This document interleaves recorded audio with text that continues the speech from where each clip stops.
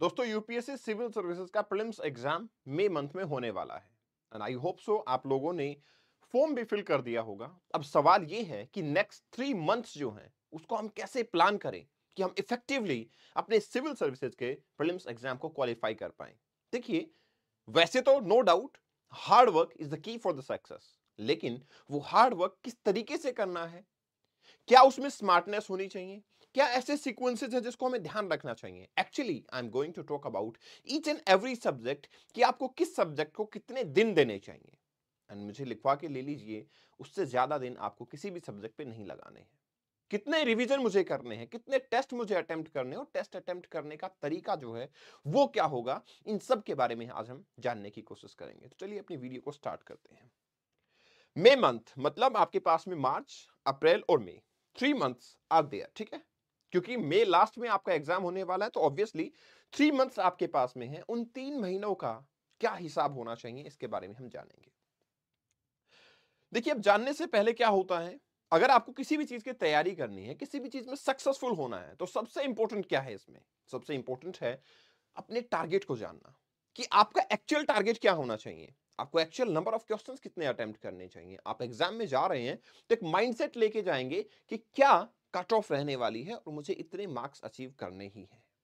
तो इसके लिए हम देखेंगे कट ऑफ़ के बारे में। आपको पता है कि प्रीलिम्स है, मेंस एग्ज़ाम है, ठीक है, उनकी कट ऑफ़ होती है, लेकिन प्रीलिम्स एग्ज़ाम की कट ऑफ़ के बारे में स्पेसिफिकली हम बात करने वाले हैं कि आपका प्रीलिम्स एग्ज़ाम जो है, उसकी कट ऑफ़ क्या रहती है।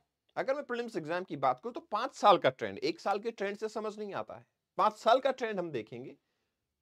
सबसे पहली चीज़, आपके प्रिलिम्स में दो एग्ज़ाम हो रहे हैं, general study and CSAT देखिए, पहले क्या हुआ करता था? सी सेट का पेपर काफ़ी आसान आता था। इसलिए आप उसको नेग्लेक्ट कर सकते थे कि ठीक है, कोई बात नहीं, देखेंगे। अगर हमें लगा तो हम उस पर मेहनत कर लेंगे, अगर नहीं लगा तो कोई बात नहीं मैनेजेबल है। लेकिन स्टिल अब सी सेट का लेवल काफ़ी अच्छा कर दिया गया। That's why I will advice सबसे पहले तो इंश्योर कीजिए कि ये 33 परसेंट मार्क्स आपके आए। क्योंकि अगर ये नहीं आ रहे हैं, इसका मतलब ये है कि फिर हमें कुछ अटेम्प्ट करने का फ़ायदा नहीं होगा, हमारा सारा हार्ड वर्क खराब हो जाएगा। दैट्स वाई नेसेसरी है कि पहले इसको इंश्योर कीजिए। अगर आप आईआईटी से हैं आई से हैं तो भी इसको ग्रांटेड मत लीजिए। एटलीस्ट टेस्ट अटेम्प्ट कीजिए। करके देखिए, चार से पाँच टेस्ट के अंदर अगर आपको अच्छे खासे मार्क्स आ रहे हैं तो फिर you will feel comfortable previous year questions का सहारा प्रीवियस ईयर पेपर का, पूरा पेपर का सहारा आप ले सकते हैं।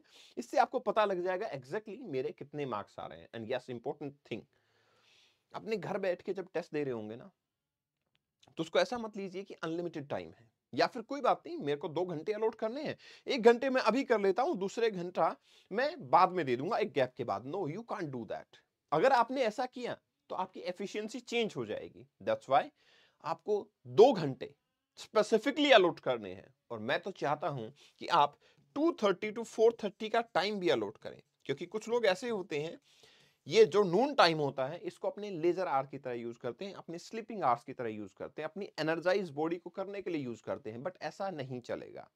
आपको तीन महीने ये हैबिट डालनी पड़ेगी कि this is the ideal time जिसमें मेरा माइंड जो है, वो एक्टिव रहना चाहिए। अपनी शेड्यूल को कुछ ऐसा कीजिए कि आप मॉर्निंग में जब सो के उठते हैं तो शाम को ही सोने की रिक्वायरमेंट हो, दिन में आपको सोने की रिक्वायरमेंट ना हो, तीन महीने ये प्रैक्टिस कीजिए। अब देखिए कट ऑफ़ जनरल स्टडी के बारे में। अगर 2022 की बात करो 23 का तो रिज़ल्ट अभी नहीं आया है, आएगा, उसके बाद कट ऑफ़ आएगी, लेकिन 2022 में जनरल की कट ऑफ़ थी 88.22 OBC 87.54 ST 69.35 and so on अलग अलग कैटेगरी की कट ऑफ़ थी। पहले तो आप चाहे किसी भी कैटेगरी में है, इसी को टारगेट कीजिए। वी नेवर नो कि कट ऑफ़ थोड़ा ऊपर नीचे हो जाए बट स्टिल अगर हम टारगेट अच्छा रखेंगे तो हमें आसानी से उसको अटेम्प्ट करने की एनर्जी भी मिलेगी, मेहनत भी करेंगे।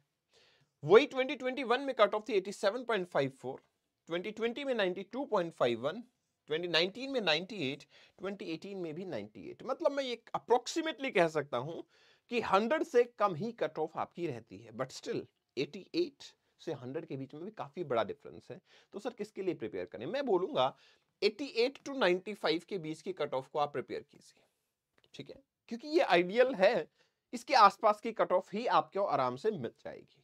आप आराम से, अगर इतने मार्क्स आपके आते हैं, आप आराम से क्वालिफाई कर जाएँगे प्रीलिम्स एग्ज़ाम को। ये मेंस की कट ऑफ़ है। मेंस के टाइम पे हम बात करेंगे कि कैसे उसको स्ट्रेटेजाइज करना है बट स्टिल मेंस तो तब दे पाएँगे जब हम प्रीलिम्स को क्वालिफाई कर लेंगे। अब सवाल ये है कि इतनी कट ऑफ़ तक पहुँचने के लिए मुझे कितने क्वेश्चन अटेम्प्ट करने हैं? तो क्वेश्चन का जो क्राइटेरिया है, वैसे तो पेपर को देख के ही ये बताया जा सकता है क्योंकि पेपर डिफ़िकल्ट है तो कट ऑफ़ नीचे जाएगा, पेपर आसान है तो कट ऑफ़ ऊपर जाएगा, बट स्टिल एक आइडियल जो नंबर होता है जो आप अपने माइंड में पहले से सेटअप करके जाएँगे, वो होगा 70 टू 85 इतने क्वेश्चन तो लगभग आपको अटेम्प्ट करने ही 70 टू 85 के आसपास के क्वेश्चंस आपको अटेम्प्ट करने ही हैं। क्यों करने हैं? Let us take an ideal number 75 questions आप अटेम्प्ट करते हैं, ठीक है? 75 क्वेश्चंस आप अटेम्प्ट करते हैं एक आइडियल नंबर ले लेते हैं। आप ये मान के चलिए around ten percent around ten percent question जो है वो आराम से गलत हो जाते हैं। जब आप हाई एक्यूरेसी रेट रखते हैं, ठीक है? मतलब आउट ऑफ़ 75 आपके पास में 65 क्वेश्चन ही हुए जो आपके सही हुए, ठीक है? और ये मैं उनके लिए बोल रहा हूँ जो कि अपना हाई एक्यूरेसी रेशियो मानते हैं। Ten percent is for those who consider it as a high accuracy ratio ठीक है ना? हाई एक्यूरेसी रेशियो वैसे 7.5 क्वेश्चंस बनते हैं। मैंने आइडियली थोड़ा सा और करके 10 मान लिया कि आपके 10 क्वेश्चन गलत हो जाते ठीक है? 7.5 इज़ नॉट ए नंबर 8 मान लेते हैं। चलो, ठीक है।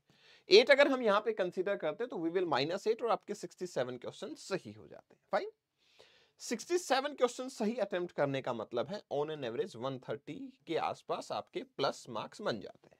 बट ये जो आपने टेन क्वेश्चन गलत अटेम्प्ट किए थे, इनका भी वन थर्ड नेगेटिव आपको लगेगा, जिसमें आपके मार्क्स माइनस हो जाते हैं कितने?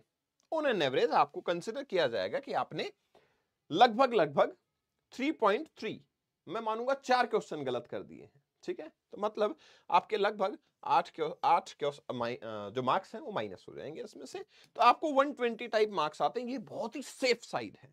लेकिन अब प्रॉब्लम क्या है? जैसा मैंने बताया जिनका हाई एक्यूरेसी रेशियो होता है अदरवाइज़ मैं काफ़ी बार ये देखता हूँ, स्टूडेंट 25 परसेंट क्वेश्चन को इनकरेक्ट कर देते हैं।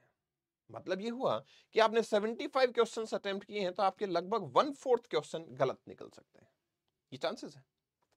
अब इसका वन फोर्थ अगर मैं देखता हूँ तो on an average it is becoming around 17 के आसपास अगर मैं बोलूँ 16.5 या 17 में बोल सकता हूँ कि 17 के आसपास क्वेश्चन आपके गलत हो जाएँगे। तो फिर ये एक बड़ा नंबर होगा। 17 क्वेश्चन अगर इसमें से गलत हो गए हैं आपके तो फिर आप किस लेवल पे पहुँच जाएँगे? आपके सही क्वेश्चन कितने रह गए हैं आप? आपके सही क्वेश्चन अराउंड 58 रह गए हैं यहाँ पे। और 58 eight into two is hundred अब उनमें से आपका नेगेटिव मार्किंग निकल जाएगी तो आपके लगभग लगभग हंड्रेड के आसपास मार्क्स आ जाएँगे। तो आइडियल नंबर होता है सेवेंटी फाइव अगर आपका एक्यूरेशियो रेशियो ठीक है तो। अब आप जब टेस्ट सीरीज़ अटेम्प्ट करेंगे तो आप एनालाइज कीजिए कि आप अगर 40 क्वेश्चन 70 क्वेश्चन जितने भी क्वेश्चन कर रहे हैं, उसमें से कितना परसेंट ऐसा है जो गलत निकलता है, उससे आप एक आइडियल नंबर पे पहुँच जाएँगे। अब सवाल है कि सर टेस्ट सीरीज़ कितने टेस्ट अटेम्प्ट करने चाहिए? मैं रिकमेंड करूँगा मिनिमम 30 प्रीलिम्स के लिए टेस्ट आपको सॉल्व करने चाहिए। 30 टेस्ट पेपर मिनिमम, ठीक है? और मैक्सिमम किस लेवल पे जाए? Maximum is 60 test paper attempt कीजिए। ऐसा मत कीजिए कि चार टेस्ट सीरीज़ ले आया आओ 120 या 150 test paper, no. Instead of that at least three times इस टेस्ट सीरीज़ का रिवीजन कीजिए। और मैं चाहूँगा ये टेस्ट आप 9:30 टू 11:30 पे अटेम्प्ट करें। और कम से कम पाँच अपने सी सेट के टेस्ट भी प्रैक्टिस करें, जो कि आइडियल टाइम यूपीएससी आपका एग्ज़ाम लेगा 2:30 टू 4:30 उसी टाइम पे प्रैक्टिस करें सो so दैट आपका माइंड मेकअप जो है, वो बढ़िया हो जाए। ठीक है? अब सवाल आता है कि, सर लास्ट जो आपका रिवीजन वाला पार्ट है, उस पर कैसे फोकस करना है? तो डेफिनेटली मैंने बोला, तीन रिवीजन करने हैं। और आपका मार्च टू मे के अंदर आपको रिवीजन पे ज़्यादा फोकस करना है प्रिलिम्स पे ही फोकस करना है और कोई भी नए सोर्स को रेफर नहीं करना है। जो आपने किया हुआ है, पूरे साल मेहनत की है, उसी को कीजिए, उसी को रिवाइज कीजिए। अब सवाल है कि कितने टाइम किस सब्जेक्ट को अलॉट किया जाए? अपकमिंग टाइम के अंदर पॉलिटी को आप पंद्रह दिन दे सकते हैं। इसका मतलब ये है कि पॉलिटी जब आप पढ़ रहे हैं, इसका मतलब ये नहीं कि पूरे दिन पॉलिटी ही पढ़ रहे हैं। टेस्ट पेपर आप साथ साथ में अटेम्प्ट करते जा रहे हैं। इकोनॉमी को आप 10 से 11 दिन देंगे। Environment seven to eight days का टाइम पीरियड होगा।